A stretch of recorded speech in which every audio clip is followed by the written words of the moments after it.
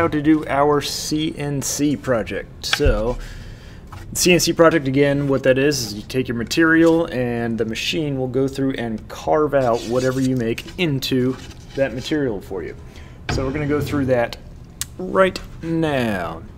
So on your screen you should have something that says VCarve. It might say VCarve desktop, might say version 9, version 10, doesn't really matter. Or you go to the start menu all the way down to V to VCarve desktop. If you don't have that, let me know. And then open VCarve desktop right there. Um, it might be possible that you have Aspire. Um, so if you have something right here that says Aspire, so this is version Aspire 10.0. Uh, Aspire and VCarve are made by the same company. Uh, either one, they work just pretty much similarly. aspires the next version up. It's the much more expensive version because uh, it adds a lot more of 3D modeling software into the CNC software. Not a big deal for us because we're going to be doing all of our 3D modeling in something else, like Inventor or Onshape or whatever. All right, so when we first open here, let me go ahead and get my face out of here. When we first open, this is our menu. What we're going to do is we're going to create a new file. So when I hit create new file, first screen that comes up right here, it says job setup. So this is where we're going to set up everything from the very beginning. So with ours, we're going to have 10 inches by 10 inches, and our thickness is going to be half an inch right there. So for this project, if yours is not set up already, right here, width should say 10. Oop. The height should say 10, and the thickness should say 0.5. Um, if you do 1 slash 2, and then type equals, that'll do the same thing as uh, 0.5. But anyway, 10, 10.5. The zero position, this is very important. This is where the machine thinks it's the top of it is right there. Um, so when your bit comes down, let's say this is my spinning bit, does it start right here on the top or does it start down here at the bottom of it where the machine is? For us, uh, let's just use the material surface as the top. So right here, material surface instead of machine bed, so material surface. And then XY datum position. So this is where our zero is on our x, y axis. So we're going to use the bottom left corner. So what this is doing is this, we're telling the computer, we're telling the machine that our zero point is this corner right here on the top bottom left corner. There's other times where you would use the center, like if I wanted the very center of it like this. Um, different jobs, different projects have different requirements. Some things make it easier, but we're going to go ahead and set it in the bottom left. Modeling resolution, this is just how good the graphics look on the software. And then appearance is just the preview. It's set up for different types of wood. Doesn't really matter. Just leave it at whatever it is. So I'm going to hit OK. So here I am at the main screen right here. So a couple different things. I've got up at the very top, I've got 2D view and 3D view. You're going to go back and forth between these a lot. So 2D view is where I do all my drawing. And then 3D view, after I do the preview, this is where it's going to preview it. So you'll see what it looks like, what it could look like in real life. Um, to go back, you just click back to 2D view up here. So you might go back and forth between these two a lot. File operations, this is where our save, open, import vectors, import bitmaps, so we'll use those buttons a lot probably. Um, cut, paste, undo, redo. Create vectors, so this is where we have our drawing circles, drawing shapes, uh, where we can add some text. Text on a curve, and then this button right here that says trace bitmap. It's a little bird right here. I just call it the bird button because it's a little bird. Uh, we'll use that one a lot as well because that when you bring in a picture, like if I want to bring in this picture right here, uh, we bring in the picture of Mickey Mouse and then we trace it out. And I'll get into that also. Transform objects. This is where you can move things, resize, rotate, flip things, distort, align. This align button is really useful because what that does is, let's say this rectangle right here uh, I already made. If I hit align, I can say align it to the center of my material, which what that means is it will center it left and right, it'll center it up and down, put it right in the middle. So, close. All right. Edit objects. Um, most of these won't be too useful for us, but they're all there. You can look through them all. Um, and then offset. So if I have a shape here and I want to make it bigger, I can, let's say, offset it outwards let's say two inches, hit offset, it now takes that two inches larger. Uh, do, array copies, copying it circular. All right, plate production. We won't need most of that stuff. All right, let's get going here. I'm going to delete these and I'm going to show you some of these tools here. All right, first thing is shapes. Shapes are really easy. Uh, if I want a circle, draw a circle, draw ellipse, draw rectangle, draw polygon, which is just basically anything with more than, you know, four sides. Um, if I wanted a 11-sided figure, I could click 11 and it would give me an 11-sided figure. All right, I'm gonna hit delete. Um, if you are trying to get rid of something, click it and press delete on the keyboard, not backspace, but delete, and that will delete it. Um, star kind of works the same way as polygon, like if I wanted a seven pointed star, like that, I've got a seven pointed star, cool. The line tool you might use a lot, so this if I need to just make some lines or connect some things, yeah, line tool. arc tool. Same thing. If I just need to make some arcs. Cool. Alright. The text tool, let's go into the text tool right here. So if I want to add some text, like I'm going to write, I'm going to click that, and I need to do two things. One is I need to tell it where on the screen I want it, and I need to tell it what I actually want it to say. So I'm going to click kind of over here, and I'm going to say, uh, I'm just going to put engineering is fun.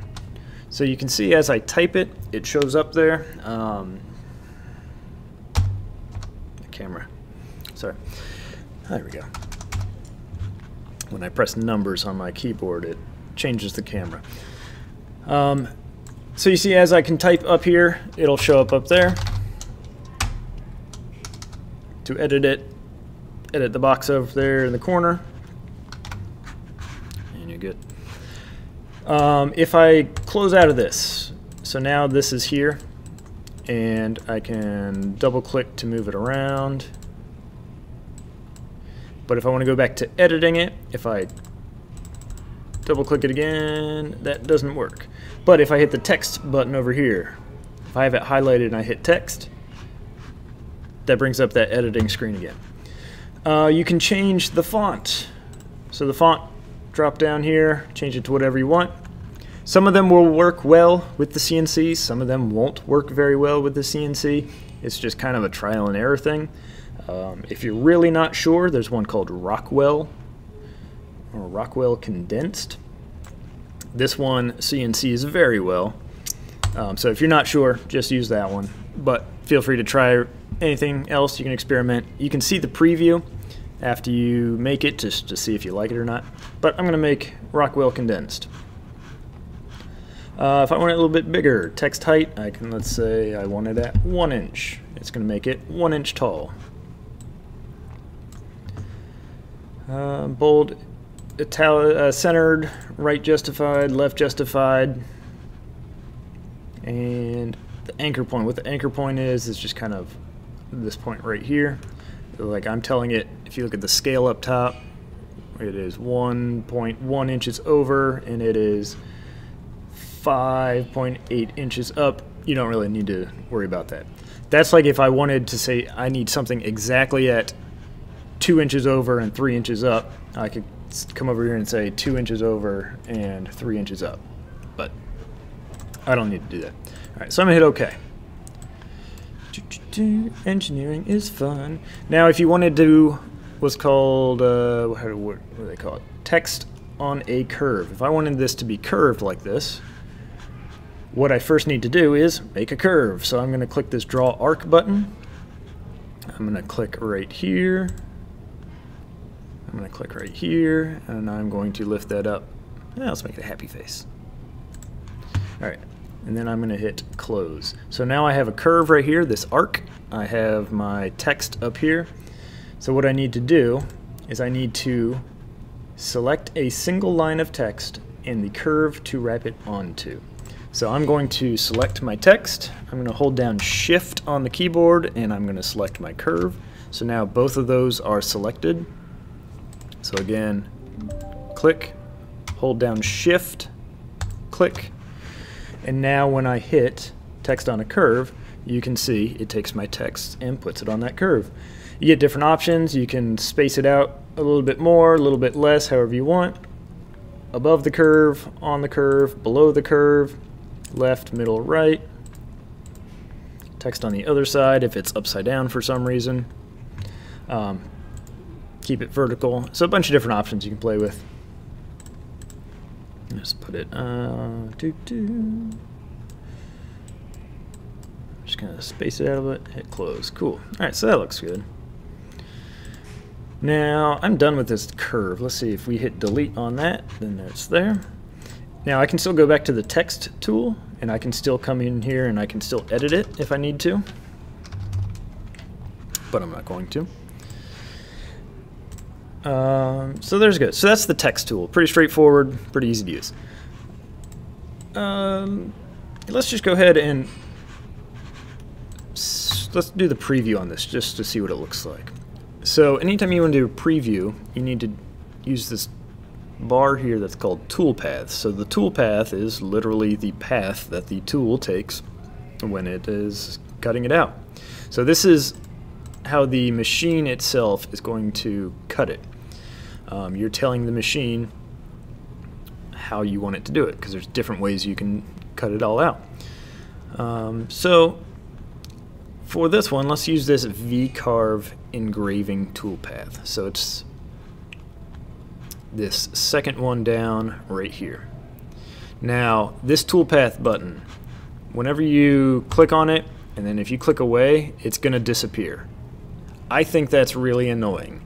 So if, if you think that's annoying, if you hit this little pin right here in the top right, it says auto hide. If I pin that toolbar, now this toolbar will stay here forever. Very nice to have because I don't want it to keep disappearing. Alright, so we're going to use this V-carve. First thing I need to do is I need to select whatever it is I want to carve. So I'm going to select my text right here. I'm going to use this V-carve engraving toolpath.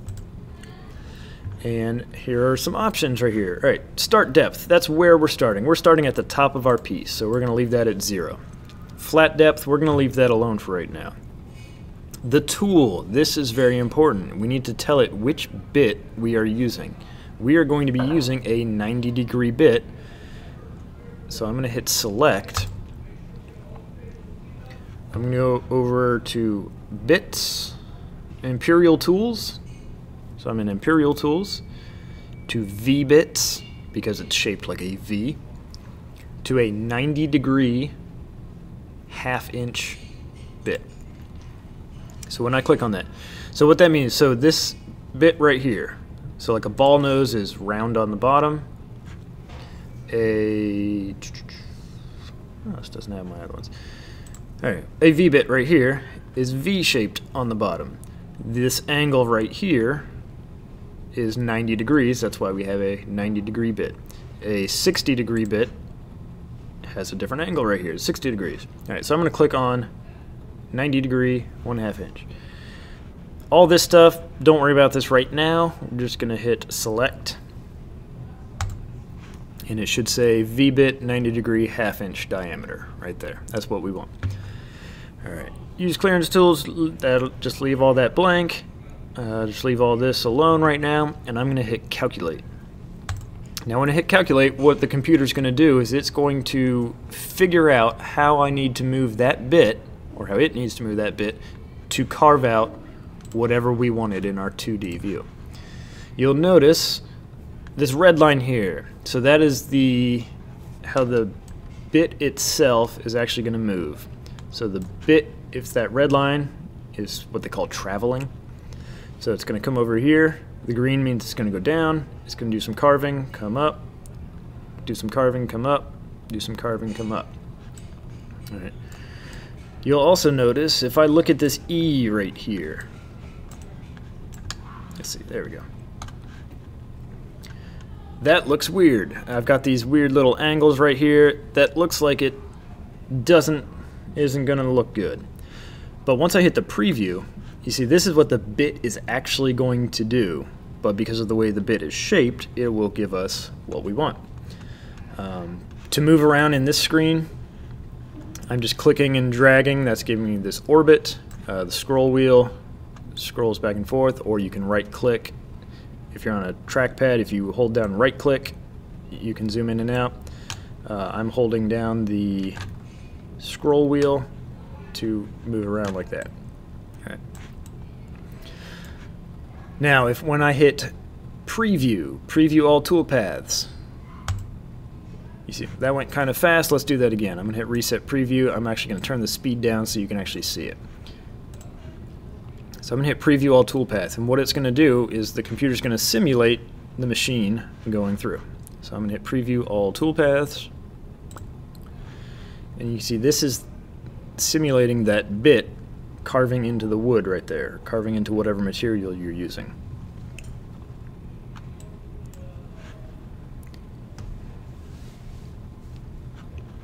I'm going to bring that speed up a little bit Alright, and it just went through and did it all. Now, that E, that looked weird, or all the corners of my pieces that looked kind of weird. Once I zoom in here, you can see now I have an actually actual sharp corner right there. Because the way that bit moved, because of that angle of that bit, it gives me a nice clean corner when it moves in and out of the material. So that's why it looks weird with your preview like this, but then once you preview it and once it actually carves it, it will go through and it will look much better.